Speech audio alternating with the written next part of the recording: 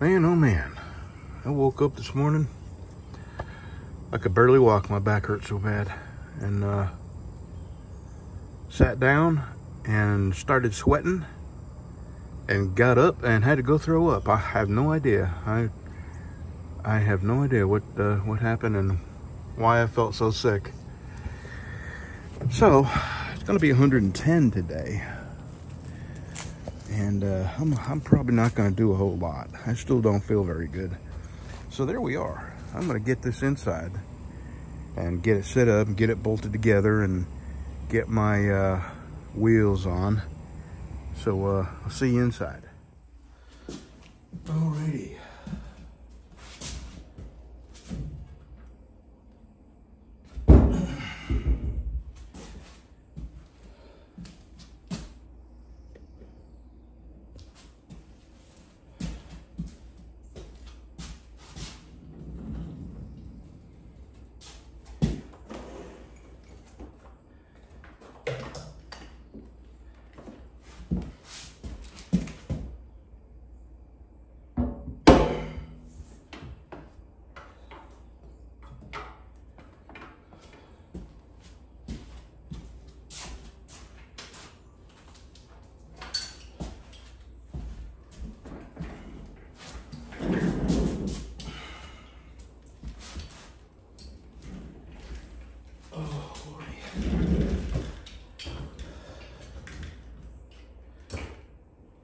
Yeah, I still don't feel very good.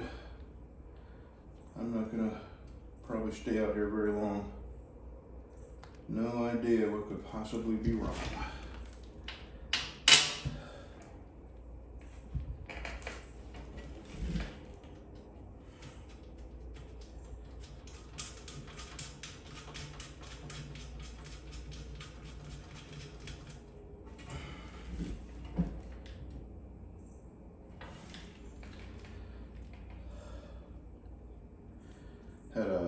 Weird dream about a copperhead snake last night.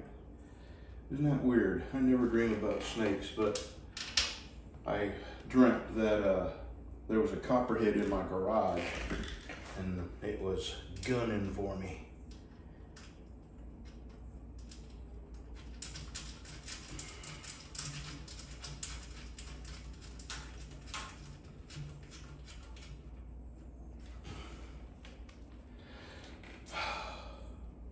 Some people may be wondering why I went through all this trouble of uh, cleaning this up and making it all purty when it's probably just going to be covered in dust very shortly. And the answer is, I don't know. Sometimes I just like making old things look new. And I think that's the uh, immense amount of pleasure I used to get from finding stuff at the dump and then bringing it home and making it work again. Chainsaws, weed eaters, lawnmowers. And uh, for some reason, that really used to make the, the, the people that worked at the dump, they used to make them so mad that I would take stuff out of the dump and bring it home. When you would think that people would be happy that somebody found some additional life in something. But that wasn't the case. And uh, eventually, they told me I couldn't do that anymore. So I started being real covert about how I would take stuff out of the dumpsters. Okay, I, I'm not going to tighten these down too awful tight because these little tabs might break off.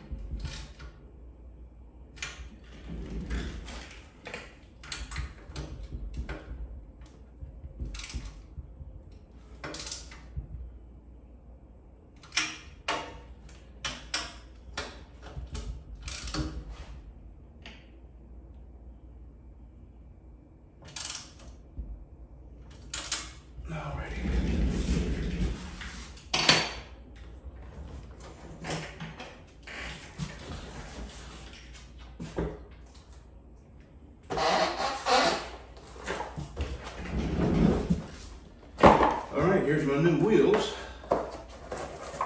And these wheels will require some uh, breaking in.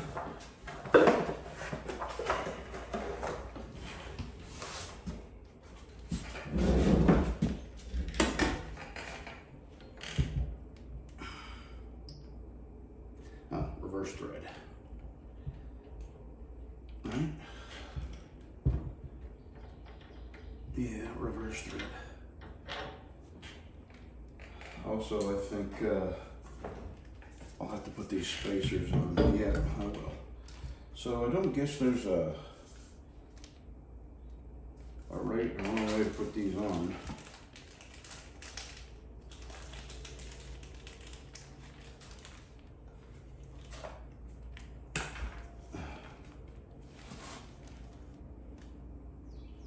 Huh.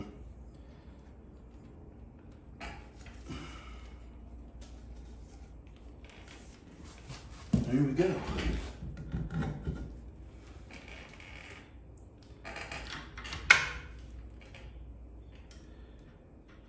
So this is a reverse thread on this side, so lefty is no longer loosey. Lefty is tighty.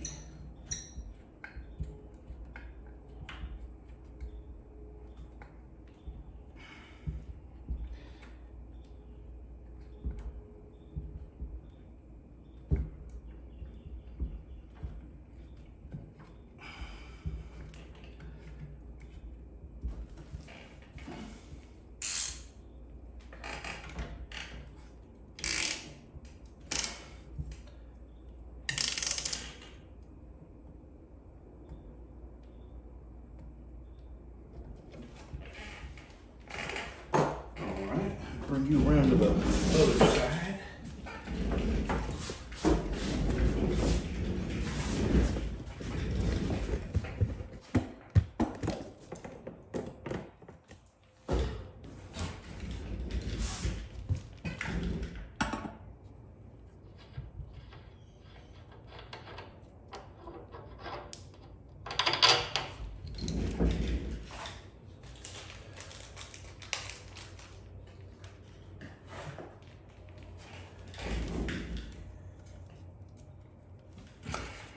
Can't get that thing in there.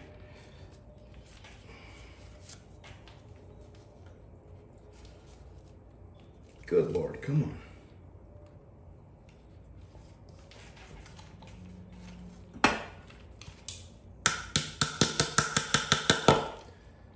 All right.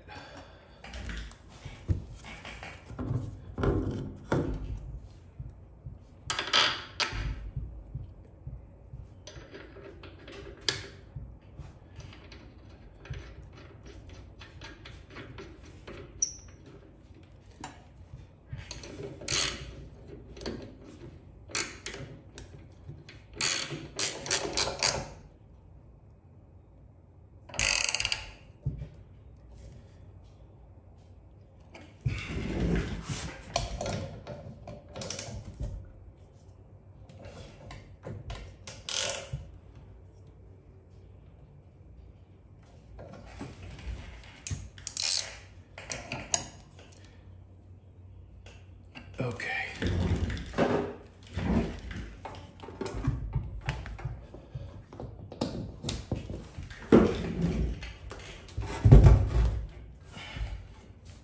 All right, you ready for this? Probably gonna need to be balanced. And basically you just take something hard like a file and uh, you hold it up there and a high spot hits it, you know, but we'll see in a minute. We'll see.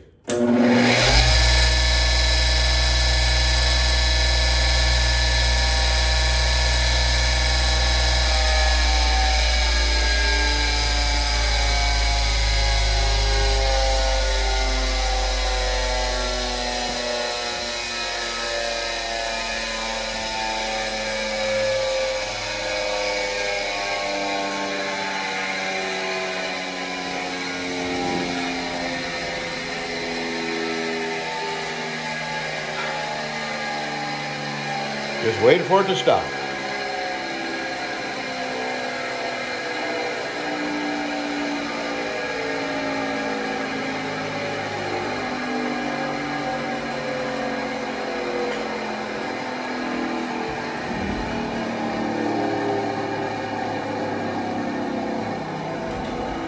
It, uh, it doesn't feel like it's out of balance.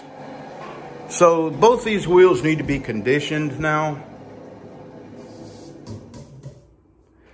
And uh, this is basically paper, cardboard. It's a paper wheel. And uh, so's this, but uh, this has, I'll show you. It has grit.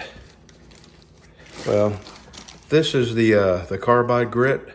And what you do is you, when this thing wears out, you put some Elmer's glue on this and then you roll this carbide grit onto it before it dries.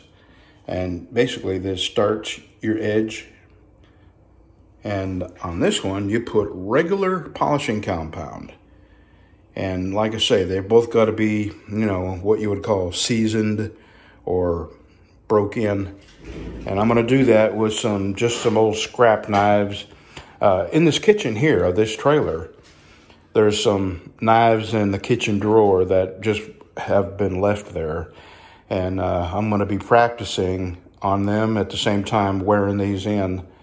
And uh, I will eventually get the nerve up to start putting the edges on these knives using this. Okay, I feel like crap. I'm going to go into my knife shop.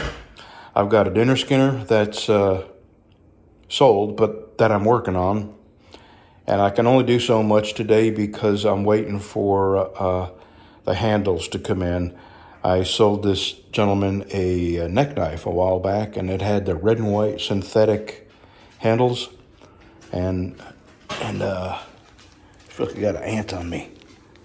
And I didn't have any more of that, and he wants the dinner skinner to match it. So uh, I ordered it. I found the exact same handles, basically from the same guy that I bought the other ones from. And uh, so what I'm going to do today is get that knife sanded up and ready to uh, have the handles put on. And I'll just wait for the handles to get here. I may go into my leather shop and just go ahead and uh, start making a sheath for it because uh, depends on how I feel. Anyway, so this project is done. I like it, and uh, I'm real happy that I went ahead and cleaned it up. And what I'm going to do is take a big towel, and when I'm not using this, just put the towel over this to keep all this other grit that I don't want on it from getting on it. And I'm not talking about the machine itself, I'm talking about the wheels. I don't want to contaminate the wheels with any grit. Okay, so let's get in the other shop. Okay, this is the dinner skinner. Uh, just got it out of the tempering oven. And I'm gonna get this cleaned up. Let me show you my little gram scale this is uh, from Team Temu, Temu, and I'll show you what I want to do with it.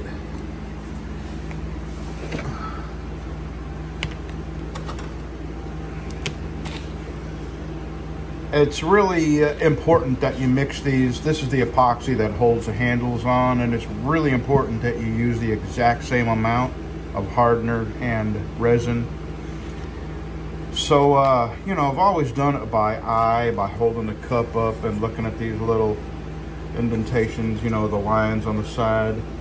But I remember back in the 80s uh, seeing these. I can't remember what they were used for back then, but uh, anyway,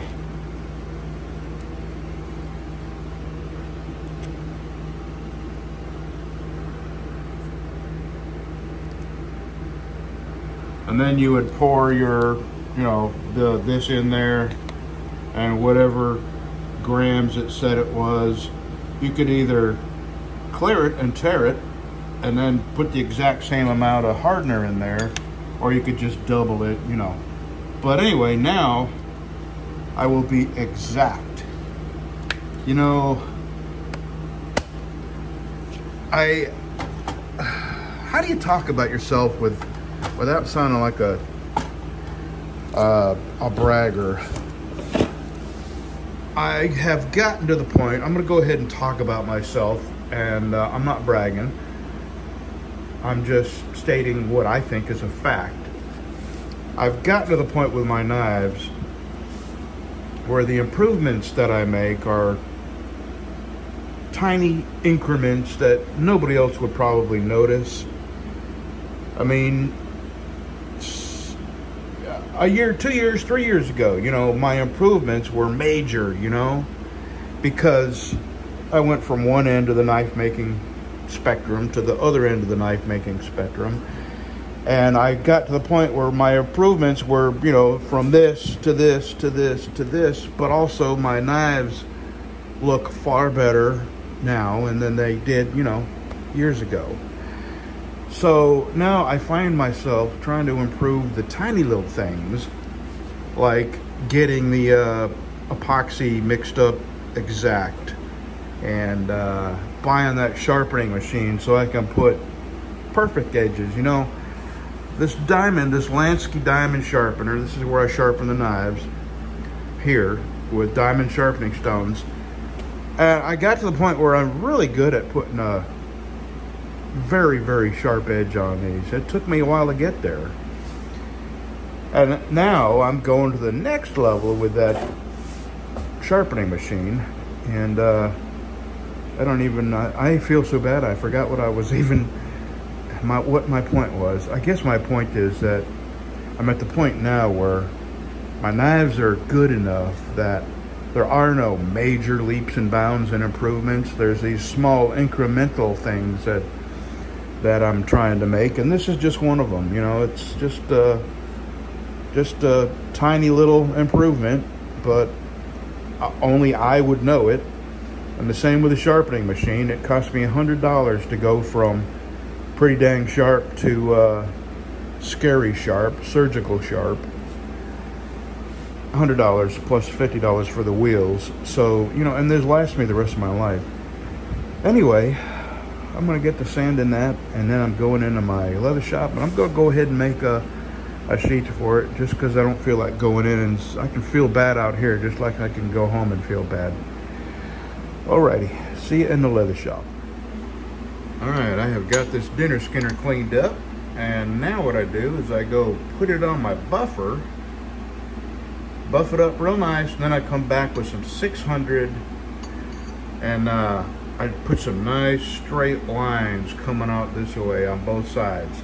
And it gives me a really nice satin, it's a satin shiny finish that won't, that it will last unless you cut tomatoes or dip it in vinegar.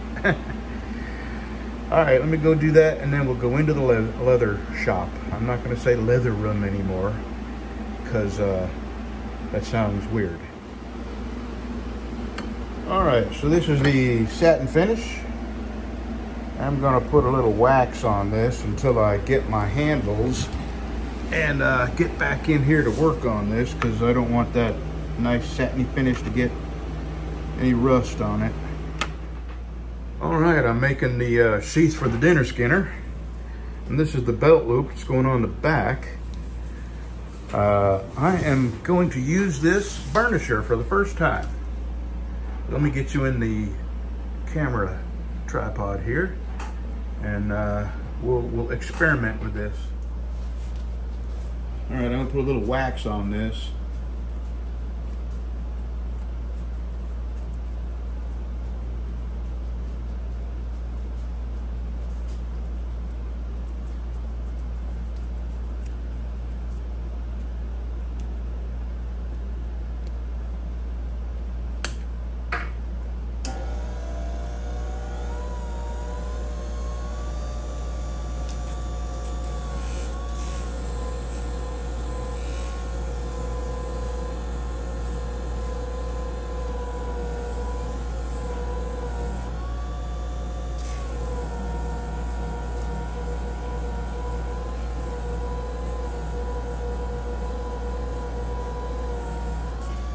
Oh, that's looking really good. Wow. Put a little bit more wax on it.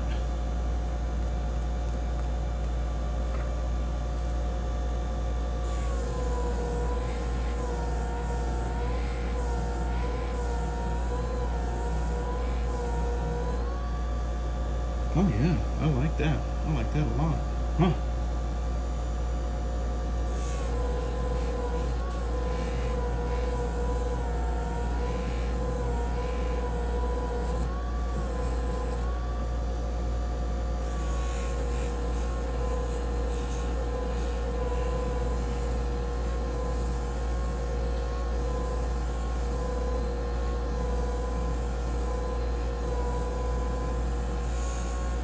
I'm glad I put this thing on that board to get it away from the desk because I like working underneath it like this. That way you can see what you're doing.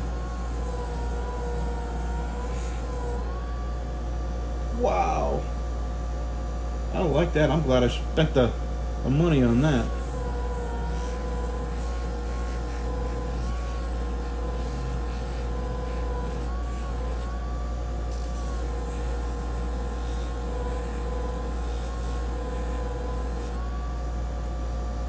Yep. All right. So, uh, yeah, that come out real nice.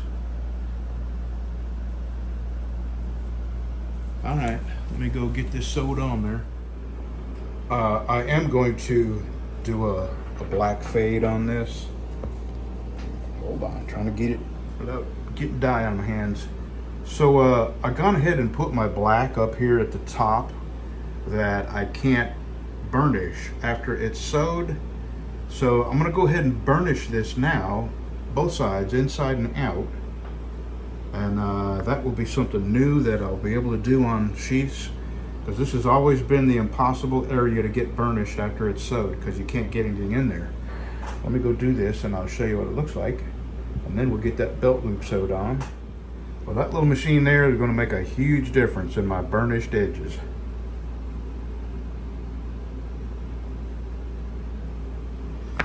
All right, let me get this sewed on.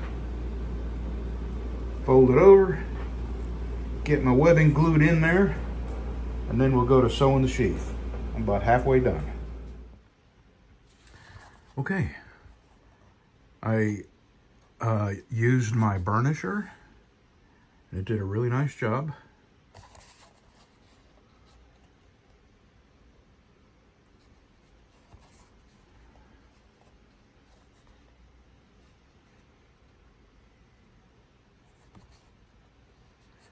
This is for the the knife I'm making for uh, Josh, someone David works with, over there in Marshall. And it's uh, synthetic. It's white with red swirls in it. So uh, I used some red dye on this and some red thread. And uh, I like it. This came out real nice. Okay. Have a good Sunday, y'all.